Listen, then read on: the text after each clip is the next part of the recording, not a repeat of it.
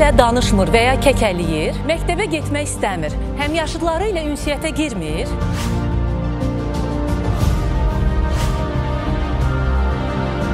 Yeniyetmə övladınızı zərərli vərdişlərdən necə uzaq tutacağınızı düşünürsünüz? Ailənizdə yaranan ən xırda problemlər böyük münaqişələrə səbəb olur. Bu və digər sualların cavabını həftə içi 5 gün saat 14:20-də Logosla danışır psixoloqda tapacaqsınız. Ailənizin psixoloji sağlamlığını bizə etibar edin.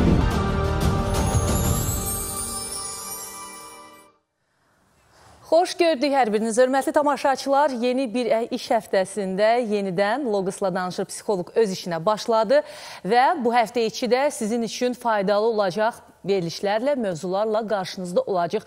Bugün də çox maraqlı bir mövzumuz var.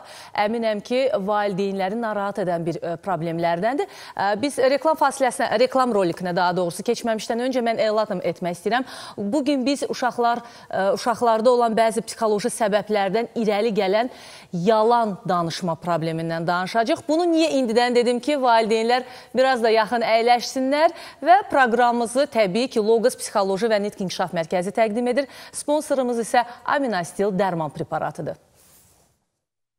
Biz aminostili təklif edirik. Amin turşuları ilə zəngin, damcı formalı aminostil ilə uşaqlarınız sürətlə inkişaf edəcək, rahat qidalanacaqlar. Heç bir zərər olmayan bu məhlul immun sistemini gücləndirir və körpələrinizi müxtəlif xəstəliklərdən qoruyur. Uşaqlarda əqli və fiziki inkişafın, boyun uzanmasına və nitqin yaxşılaşmasına təsir göstərir. Aminostil yalnız uşaqlar yox, böyüklər də qəbul edə bilər.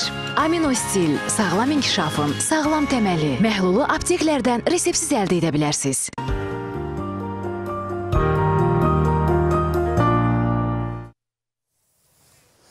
Hörmətli tamaşaçılar, hər birimiz bilirik ki, uşaqlar çox saf olduqlarından hər zaman hər şeyin düzünü danışırlar.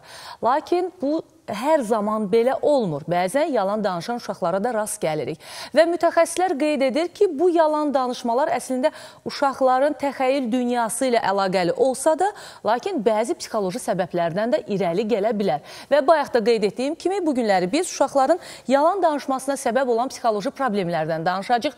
Əziz valideynlər, baxın, diqqətiniz bizdə olsun. Bizim vaxtımız çox məhduddur. 20-25 dəqiqə efirdə oluruq və çox istəyirik ki, sizə efirdən faydalı olaq. Ona görə ekrandan nömrə nömrələrimizi xatırladıram. Siz də zəng edin, yazın, probleminizi deyin. Çünki bizim mütəxəssislər hər zaman efir vasitəsilə sizə yardım etməyə hazırdılar. Və 012 404 31 10 canlı bağlantı nömrəmiz 050 325 46 48 WhatsApp nömrəmizdir. Gözləyirik.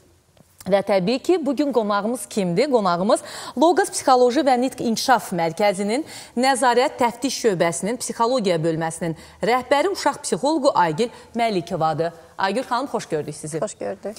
Və hər zaman olduğu kimi ə, düşünürəm ki, həqiqətən valideynlər üçün valideynlərin marağına səbəb olacaq bir mövzudur. Bəli. Əslində mövzu bir o qədər deyil, buradan sizin verəcəyiniz məlumatlar daha çox onlara maraqlı olacaq. Bəli, ötürəcəyimiz mesajlar. Bəli, mesajlar, məlumatlar. Və ümumiyyətlə ə, düz nə qədər desək də ki, uşaqlar safdırlar, hər zaman düzünü deyirlər, amma yalana da meyillilik var bunlarda. Bu nədən irəli gəlir? Belə deyək də Vəfa xanım, ə, bəli, hər bir uşağın keçməyə lazım olan periodlardan biri də bu perioddur, yalan danışmaq. Əslində ə, ilk dəfə biz uşaqlarda 3 yaşından sonra daha çox müşahidə etməyə başlayırıq bu kimi halları və dərhal valideynlər elə düşünür ki, mənim övladım başlayıb yalan danışmağa. Əslində bu yalan danışmaq deyil, sadəcə olaraq bəzi hadisələri biraz daha şişir dərəyə çatdırmaqdır ki, bu da uşaqlardakı təxəyyüllə bağlı olan bir problemdir. Ə, artıq 3 3 yaşında biz hər birimizə məlumdur ki, uşaqlarda təxəyyül, yəni e, fantaziyalar başlayır qabarmağa və bu fantaziyalar qabardıqca da uşaqlar bəzi hadisələri çatdırmaqda, məsələn, yıxıldısa səni kim yıxdı, özü yıxılmış olmağına baxmayaraq məni anam yıxdı, ata yıxdı, nənə yıxdı, baba yıxdı kimi ifadələr işlədirlər və bu zaman biz böyüklər də dərhal nə ifadə işlədirik? Sən yalan danışırsan, sən yalancısan. E, bax görürsən artıq yalan danışmağa başlayıb kimi mesajlar ötürməyə başlayırıq uşaqlara. Və bu ifadəni eşidən uşaqlarda da nə düşüncə yaranır?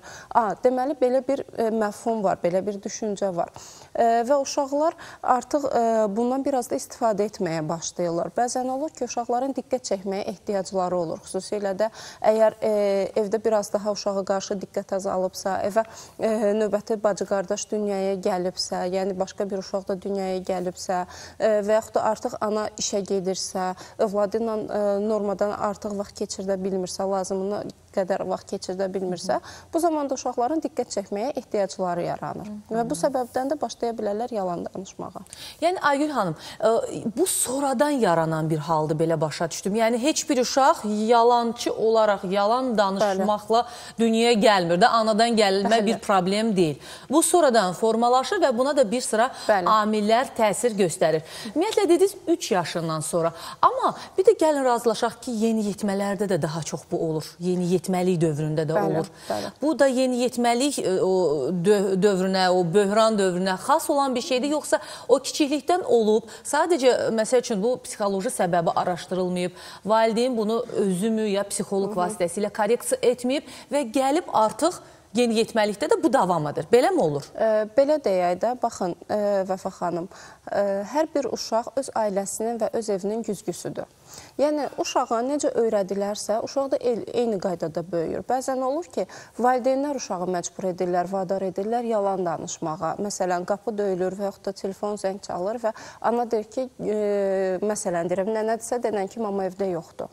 Uşaqda nə düşüncə yaranır? Deməli, mənim anam artıq aldatmağa başlayır.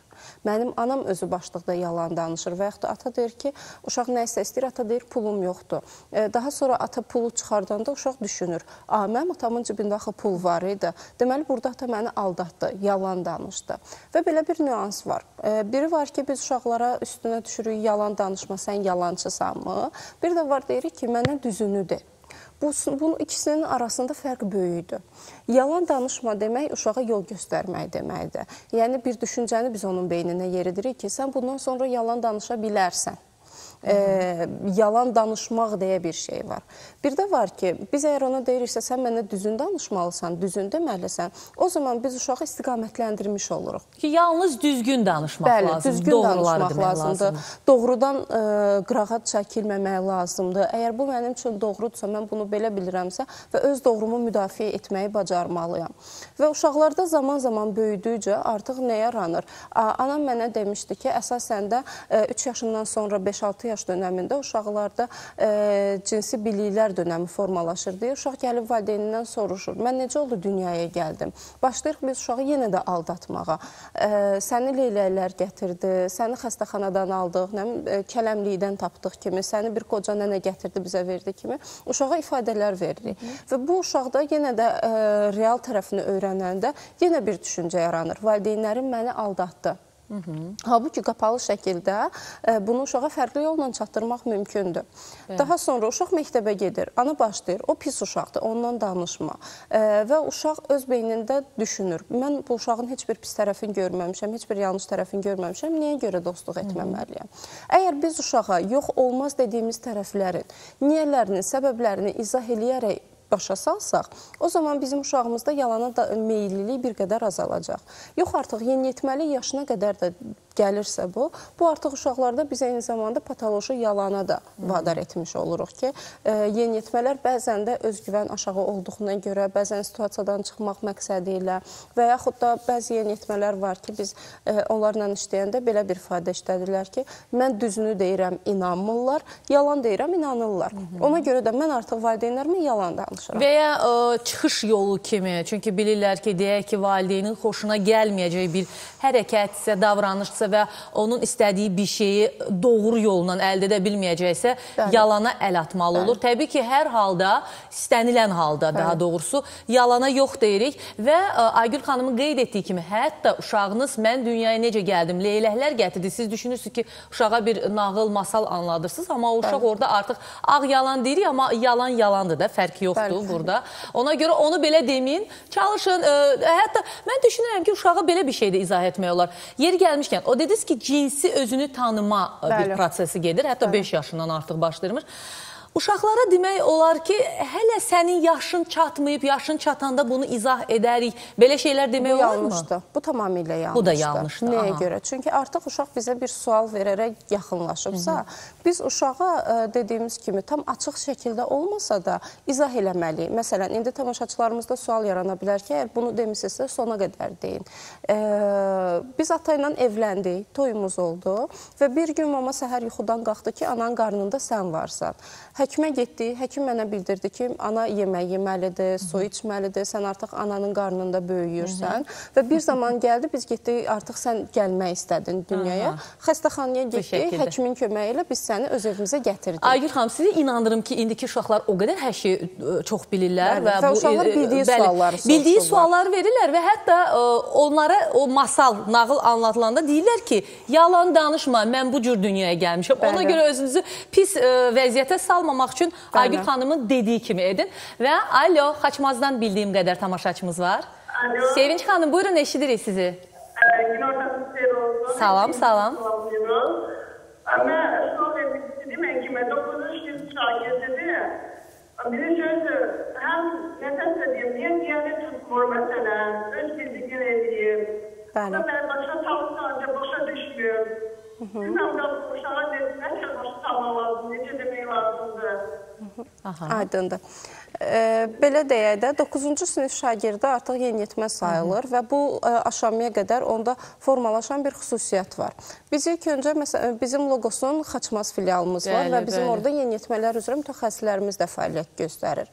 Yaxşı olardı ki, yaxınlaşsınlar, müayinədən keçsinlər. Çünki mən uşağı görmədən e, hansı səbəblərdən qaynaqlandığını bilmədən, hansı səbəbdən valideynləri aldatdığını bilmədən buradan fikir ifadə etməyim doğru olmaz. Amma bir neçə səbəbləri ola bilər ki, məsələn, əgər valideynlə arasında güvən bağı problemi varsa ki, əsasən ən başlıca səbəb bu olur. E, və yeniyetmələrdə biraz daha hər şeyin ən yaxşısını mən bilirəm, hər şeyi mən daha yaxşı düşünə bilərəm, e, kimi düşüncələrə sahib olduqlarına görə bəzən də e, öz bildiklərini yeritmək məqsədi ilə də bu addımı atmış ola bilərlər. Amma yenə də bizim loqosun Xaçmaz filialına yaxınlaşıb müayinədən keçmələri daha Məsləhətlidir, bəli. Ümumiyyətlə, Aygül xanım, bu tək yeniyetməlik dövründə olan uşaqlar deyil, ümumiyyətlə, bax, 3 yaşdan yuxarı olan uşaqlarda ə, Sevinç xanımın qeyd etdiyi kimi problemlər yaşanır. Maraqlıdır, bizim valideynlərmi düzgün tərbiyə edə bilmirlər uşağı? Yəni, tərbiyə dedikdə, ə, bəzən bilirəm, valideynlər bu sözdən qıcıqlanırlar. Çünki deyirlər ki, necə mən uşağıma belə tərbiyə verirəm, gözəl, hər şeyi yerində. Bəli. Yəni, ə, bunun səbəbi var, mütləq bir psixoloji həm də səbəbi var. Bəli, belə Sizcə deyək də nədir bu? Vəfa xanım. Ə, valideynlər düzgün tərbiyə etmir deyə bilmərik. Çünki hərənin özünə görə doğru və yanlış ə, davranışları, doğru və yanlış deyə düşüncələri tamamilə fərqlənir. Kiməsə görə doğru olan mənə görə yanlış ola bilər, mənə görə doğru olan kiməsə görə yanlış ola bilər.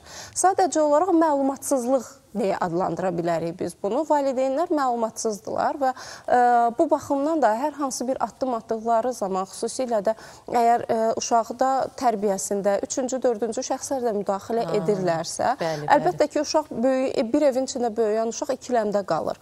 Məsələn, bu hal-hazırda ə, xüsusilə də rayonlarımızda və yaxud da elə Bakının özündə də bir evdə bir neçə ailə birlikdə yaşayır və uşaq bir adamın yox, bir neçə adamın tərbiyəsini, davranışını götürmüş olur. Və ə, bizə maraqlıdır ki, uşaq evdə kimin rol modelini götürür? Baxın, bir tamaşaçımız yazır ki, uşaq sözə baxmayanda və uşaqlar sözə baxmayanda nə etmək lazımdır? Amma Aygül xanım, çox üzr istəyirəm, biz ə, bu sualın cavabını da eləcə də yalan danışan uşaqların bu yalanın qarşısını al almadıqda gələcəkdə böyüyəndə nə kimi fəsadlar yarana bilər? Ümumiyyətlə necə anlamaq olar ki, uşaq yalan danışır? Bax bütün ə, bunları irəliləyən dəqiqələrimizdə Aygür xanım bizə ə, deyəcək, məlumat verəcək və proqramımızın sponsoru bilirsiniz ki, Unity Company şirkətinin Aminastil dərman preparatıdır. Aminastil əvəz olunan və əvəz olunmayan zülal kompleksindən ibarət preparatdır.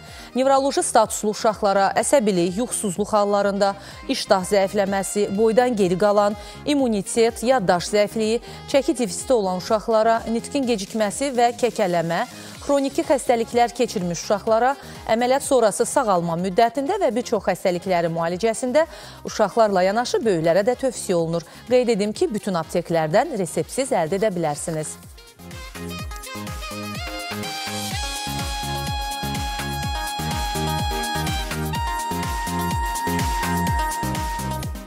Və hörmətli tamaşaçılar, artıq bir müddətdir ki, elan edirəm ki, Logosda müasir Azərbaycan qadını 5 layihəsinə yenidən start veriləcək və artıq e, belə deyək, müraciət edə bilərsiniz. Bu layihə çərçivəsində nələr olacaqdır?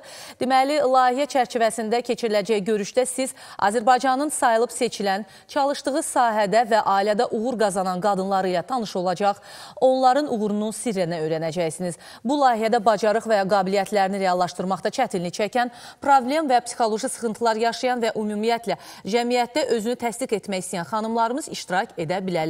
İştirak etmək üçün 055 976 48 46 nömrəsi ilə əlaqə saxlayın. Əziz xanımlar, bu fürsət, bu şans sizin üçün Logos tərəfindən yaradılır. Ə, sonra deməyin ki, mənim belə ideyalarım var idi, amma reallaşdıra bilmədim və ya necə etməyin yollarını bilmək istəyirsinizsə, buyurun Logosa müraciət edin və nömrələri də xatırlatdım. Nömrələrə müraciət edə bilərsiniz. Yeri gəlmişkən indi hal-hazırda ekranda da görürəm bizim Logos TV YouTube kanalından bizim bütün proqramlarımızın təkrarını izləyə bilərsiniz. Və nəhayət mən ə, çoxdan idi bu haqda məlumat vermək istəyirdim. Ə, bilirsiniz ki, Logosun artıq 10 filialı fəaliyyət göstərir bütün bölgələrimizdə, Bakıda bir neçə yerdə və bununla yanaşı Logos ə, maraqlı layihələri hər zaman start verir, həyata keçirir, sizə faydalı olacaq və bununla yanaşı Logosun Logos, yəni eyni adlı jurnalı var və bu jurnal Azərbaycanda ilk psixologiya üzrə elmi publisistik jurnalıdır ki, burada siz uşağınızın özünüzün psixologiyası ilə bağlı, ailə daxili bu problemlərin tənzimlənməsi ilə bağlı, uşaqlarınızla keçiriləcək oyunlarla bağlı məqalələr var. Və indi bilirəm deyəcəksiniz ki, internet var, elektron vasitəsilə hər şey əldə etmək olur. Amma mən sizi inandırım ki, kitabların, qazetin, jurnalın əvəzini heç nə vermir. Və e, bu məqalələri buradan oxumaq və bu illüstrasiyaları, bu şəkilləri e, görmək, e, indi Aygül xanım da bu haqda məlumat verəcəkdir, çox maraqlıdır. Və e, elə mən səhifəni açdım, bizim gözəlimiz Təranə xanım buradadır. Mən bir də bir şey qeyd etmək istəyirəm. Mən belə şeylərə inananam. E, deyirlər ki, e, insanın gözəlliyi onun üzünə yansıyır. Qəlbinin Ümumiyyətlə tək Təranə xanım deyil.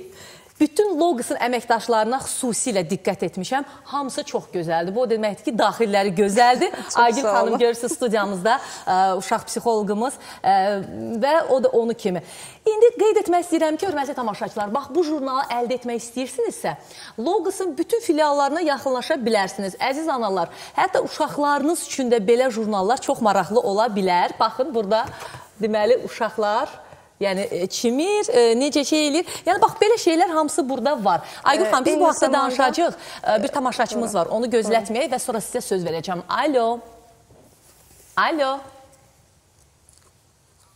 Hə, e, alınmadı, elə söz sizdədir. Ə, Eyni zamanda valideynlərin tez-tez sual verdikləri bir nüanslar var ki, uşağın nitq inkişafı ilə bağlı, davranışları ilə bağlı və yaxud da ikinci dil, üçüncü dil nə vaxtdan öyrədə bilərik. Bununla bağlı da məqalələr var və ə, çox zaman internetdə yazılan bəzi məlumat kirliliyi deyək də o qədər olur ki, yanlış informasiyalar, yanlış Bəli, məlumatlar bəli, verilmiş olur. Logos jurnalının müsbət tərəflərindən biri də odur ki, işinin əsl peşəkarı olan mütəxəssislər ə, onların öz ə, belə deyək də araşdırmaları və ə, nəticəsində bu məqalələr ərsəyə gəlir. Yəni belə deyək, dəqiq informasiya, Bəli, bəli. təmiz dəqiq- informasiya əldə dəqiq etmək istəyirsinizsə, məhz Logos. mənbəyi Logos jurnalıdır. Bəli, Logos jurnalıdır E, və bir e, tamaşaçımız zəng edib qeyd edib ki, mən panik atakdan əziyyət çəkirəm, bilmir kimə, hansı mütəxəssisə müraciət etmək lazımdır. Belə deyək də, evin yaşayış yerinə yaxın olan Logos filiallarına yaxınlaşıb klinik psixoloqlarımız Klinik psixoloq. fəaliyyətimiz göstərir. Ə, Onlardan yardım ala bilərlər. Azadlıq filialına yaxınlaşa bilərlər. Gənclik filialına yaxındırsa orada. Xalqlar, Xırdalan, əgər Bakı ərazisindədirsə. Bölgələrimizdə Xaçmaz, Xaçmazda, Lənkəranda. Bərdədə və Gəncədə də yenə eyni zamanda klinik psixoloqlarımız fəaliyyət göstərir. Baxın, əziz tamaşaçı, hörmətli tamaşaçı, bilmirsiniz hansı mütəxəssisə Aygül xanım qeyd etdi. Klinik psixoloq. Yəni müraciət edirsiniz, o e, mütəxəssis sizin o panik atakın nədən olduğunu və ümumiyyətlə Bəli. aradan qaldırılması ilə bağlı sizə kömək edəcək. Və Aygül xanım davam edirik. E, Deməli, e, necə bilmək olar ki, uşaq yalan danışır, amma tamaşaçımız var. Alo. Alo. Bəli, buyurun eşidirik sizi. Salamünaleyküm. Salam. Xanım mən bu studiyadır. Bəli, Pərvanə xanım, eşidirik sizi. Mən oğlum 9-cu sinifdə oxuyur. Ümumiyyətlə də bir adi bir sözü deyirəm, anlaşmırıq. Mənə hisslərin ağlına gələni deyil. Vay, vay, vay, vay, ağzına gələni deyir. Əvvəllər belə bir şeylər yox Siz idi. ailədə neçə nəfərsiz? Dörd nəfərik. Halasıdır mənəm. Anası, ya, bir qoca anam var. 84 yaşında. Aha, Ə, Yəni bir xırda otağın içindəyik. Aydındır. Ümumiyyətlə mənim ona yəni belə durduğum yerdə demirəm də, oturur telefon, özünün telefonu yoxdur. Telefonu Bəli. mən mənim telefonumdan istifadə edir. Boş vaxtlarında. Ə, Siz vurğuladınız uşağın neçə yaşı var? Ə, 15 yaşı olacaq. 15 yaşı olacaq. Hər zaman mı belə idi, yoxsa son zamanlarda mı yaranıb? Vaxtlar vəhşi çox belə Çox əsəb artıb. oldu. Telefonla. Deyirəm ki, qoy telefonu yerində, telefondan istifadəyə də qaydası var. Aydındır, aydındır. Təşəkkür, Təşəkkür edirik. edirik. Pərvanə xanım idi və Bəli. Aygül xanım. Deməli yazanlarımız da var. Bax eyni situasiyada qeyd edir ki, uşağın e, 12 yaşı var. Söz başa salanda acıqlanır, qışqırır, nə edim. Ə, Sonra m, deməli Hə, bax elə yalanla bağlı yazırlar ki, əgər uşaq hansı, hansısa bir əşyanı ə, sındırıbsa, qırıbsa və ondan soruşanda deyir ki, mən etməmişəm. Bu yalan sayılır, hə? Bu Ə, belə deyək də, ilk öncə Pərvanə xanımın sualını cavablandırım, daha sonra digərinə gəlim. Artıq 15 yaş var və siz diqqət etdiksə, yenə də ə, az öncə vurğuladığımız nüanslar, məqamlar var. Bir ailədə çox ə, nənə, xala, ana, uşaq ə, və uşaq artıq bilmir kimin sözünü desin. Ana ona nəsə söz deyəndə nənə müdaxilə eləyir, xala müdaxilə eləyir və beləcə də zaman keçdikcə artıq uşaq özünə hər tərəfdən dəstək aldığına görə düşünür ki, mən istədiyimə istədiyim formada danışa bilərəm. Xüsusilə də yeniyetməlik yaş dönəmində və mən e, yeniyetmə uşağı olan valideynlərə buradan səslənmək istəyirəm ki, yeniyetməlik yaşı dönəmi ən təhlükəli yaş dönəmidir və e, uşağın çılğın keçirtməsi də, tamamilə sakit keçirtməsi də, ən əsası isə e, telefona qapanıb daha çox e, telefonla e, zaman keçirdi və aqressiv olmağı bu e, biraz həyəcan təbili çalmaq deməkdir. Yaxşı olardı ki, mütəxəssis dəstəyi alsınlar və bu tipli kobud e, ifadələrin qarşısında da susaraq, üz çevirərək və yaxud da aşırı aqressiv reaksiyalar göstərərək e, aralarındakı olan bağı biraz daha e, belə deyək də zəiflətməsinlər. Ümumiyyətlə Aygül xanım, mən belə baş, başa düşürəm ki, əslində bu problemlər valideynlərin özlərinin başa gələcəyi bir problemlər deyil. Ona görə həqiqətən də mütəxəssis dəstəyi alın. Bir sualı səsləndirim, sonra ona keçək. Bu elə yalanla bağlıdır. E, tamaşaçımız yazır ki, mənim qızım yalan danışanda kəkələyir, özünü itirir. Yəni buradan da bilmək olar ki, uşaq yalan Bəli. danışır. Ə, xanım vurğulamışdı ki, nə, uşağım nəyisə sındıranda başlayır yalan danışmağa. Əgər ki, uşaq cəzalanacağından qorxarsa, ə, bu zaman başlayar bunu ə, belə deyək də necəsə örtbasdır etməyə. Əgər uşaq yalan danışdığı anda valideyn artıq hiss edirsə ki, mənə yalan deyir, o zaman belə bir ifadə işlətməlidir ki, sən mənə düzünü desən, heç bir şəkildə cəza almayacaqsan. Və bu zaman ümumiyyətlə evdə valideynlər istər yeniyetmə ailəsi olsun, istər uşaqlar olsun ki, təməli uşaqlıqdan qaynaqlansa yaxşı olar.